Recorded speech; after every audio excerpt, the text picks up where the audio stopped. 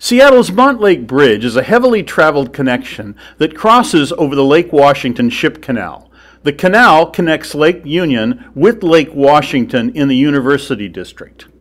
An estimated 61,000 vehicles are accommodated along with pedestrian and bicycle traffic.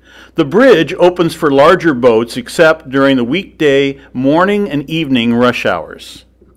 The first crossing on the current site was a makeshift walkway made from a series of barges in 1920. The purpose was to enable foot traffic for football fans attending the Washington Dartmouth game. The permanent construction was completed in 1925. The current span is 344 feet in length and rises 46 feet above the waters.